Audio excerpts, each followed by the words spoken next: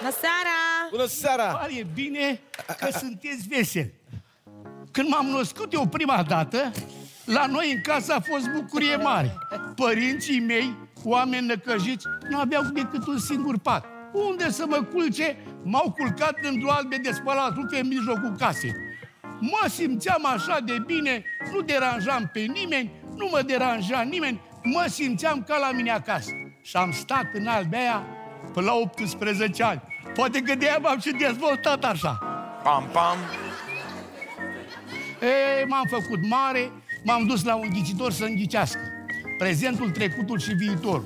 Și el mi-a spus, nu mai ghicesc în cărți, acum ghicesc direct în bani. Pune banii pe masă. E că l-a mai liniștit pe Bendea. Prima oară a fost, mamă, ce? Și uite că la ușor, ușor i-a captat atenția. Bă, m-a emoționat așa cumva, știi? Chiar m-a emoționat.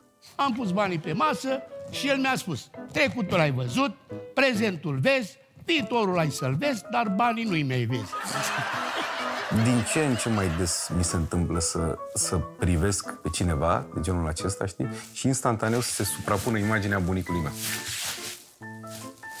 Și în momentul ăla lucrurile sunt, sunt totul altfel, știi?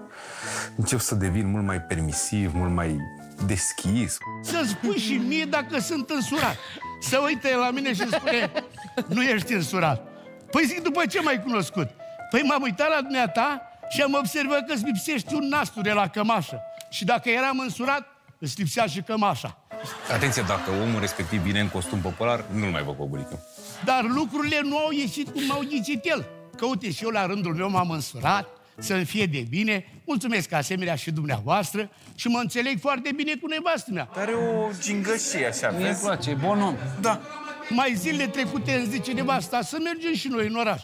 Mergem, mă, nevastă. Eu nu ies din vorba nevestii mei. Bine ar fi ca toată lumea să fie la fel. De exemplu, vrea nevasta să spargă lemne. Eu nu ies din vorba ei. E o plăcere ei, nu? Și în afară de asta, o las pe ea să meargă înainte din cauza că e foarte voinică și unde e înghesuială mare, trece înainte și o foarte liniștit în urmă. Ei.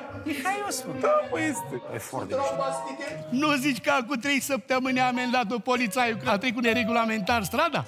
Pe mine nu m-au văzut, că eram la spatele ei. Am râs de m-am omorât, m-am omorât. Dar i zis-o polițaiul, nu te amendez că ai trecut neregulamentar strada, dar te amendez de dată să-ți bag mințile în cap, să nu lași copilul de capul lui în urmă.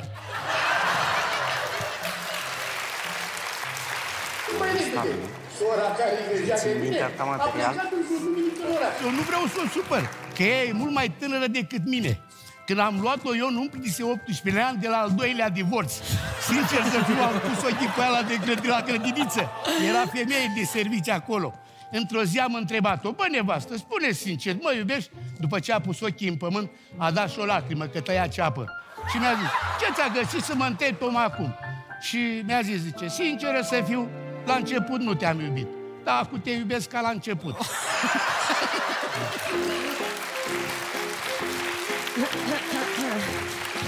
Of, femeile astea. Cu cine avem uh, onoarea și plăcerea și bucuria? Druțu Ioan a mai dat și un spectacol acum vreo 40 de ani, împreună cu Dem Rădulescu, cu Tamara Bulcicianu, cu Anda Călugăreanu, cu Metică Popescu, Ion Dichiseanu în Tecuci. Ion Besoiu zice, păcat de dumneata tinere că ai stofă de nu te-a, pregă- dar nu te-a pregătit nimeni. Și acum am așteptat 40 de ani, a apărut emisiunea Ai Umor și am zis, bă, tată, dacă scăp și tura asta, cine știe, la 68, cât mai trăiesc. De asta m-am prezentat înaintea dumneavoastră. Ți-a rămână, mulțumim frumos. Să zice povești de viață, domnule. 40 de ani. Ăsta comeback, frate, nu ăștia care vin după de la un sezonul 2 la sezonul 6. Ăsta 40 de ani, fratele meu. Acum ar arăta, ai umor peste 38 de ani. La fel. Cu noi aici, Da. Ce-am zis? Ce-am zis? Publici... Publici... Mi-a plăcut ceea ce ați făcut acum pe scenă și mă bucur că, iată, după atâția și atâția ani... 40 aveți posibil- de ani, da. 40 de ani, aveți posibilitatea să apăreți, să apăreți în fața noastră, Vă în mulțumesc. fața lor, în fața oamenilor și să aveți un moment de bucurie pe care nu l-ați transmis. Vă mulțumesc! Bravo. Cu albea de spălat rufe este realitate. Noi am fost 12 frați. Am mai rămas șase. Trei au venit aici, în sală, să mă susțină. Pe bune? Deci unul era într-o albe de spălat rufe, unul era într-un leagă din la balansor, deci realitate, nu, acum glumele glume. Și unul era pe plichici, pe sobă, știți? Acum toți întrebau, păi omule, ce le dai de mâncare? Și tata spunea, zice, păi le dau amții. Păi, tată, cum să le dai amții? Că mor, că sărați. Bă, dar eu înșir pe o ață, așa, și uh, ca pe mărgele. Și trec în fața ochilor așa, și ei salivează, mușcă din pâine și nu le mai trebuie mâncare.